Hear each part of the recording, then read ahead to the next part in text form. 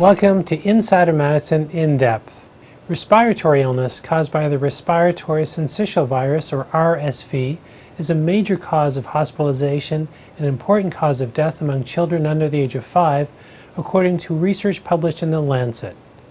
Here is some information about RSV. It is a virus that infects the lungs and airways, most commonly in infants and young children. By the age of 3, most children have been infected with RSV. While symptoms are usually mild, it can cause a serious respiratory infection called bronchiolitis and pneumonia. Researchers from the University of Edinburgh analyzed both published and unpublished studies going back nearly 15 years to estimate the rate at which children under the age of 5 developed acute infections with RSV. They also looked at how frequently such infections required hospitalization or resulted in death. In the year 2005, an estimated 33 million episodes of acute lower respiratory tract infection related to RSV virus occurred in children under the age of 5. Of these, at least 3 million were serious enough to require hospitalization.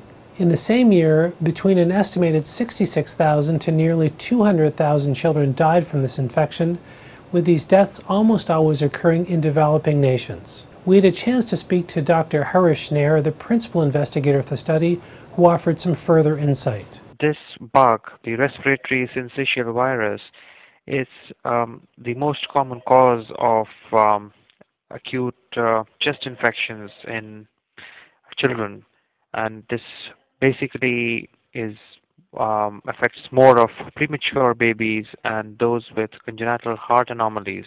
This illness is um, is largely preventable. Um, we don't have a vaccine as yet, but uh, the deaths um, from this illness, again, it's, which is um, quite a bit high. It's, it accounts for up to 10% of all um, infections due to uh, pneumonia, all, all the deaths due to pneumonia in under five kids.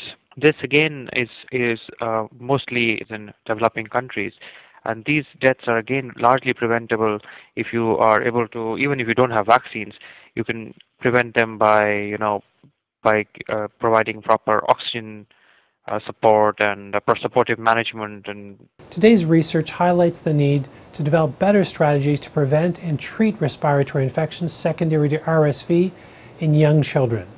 For Insider Medicine in Depth, I'm Dr. Sanjay Sharma.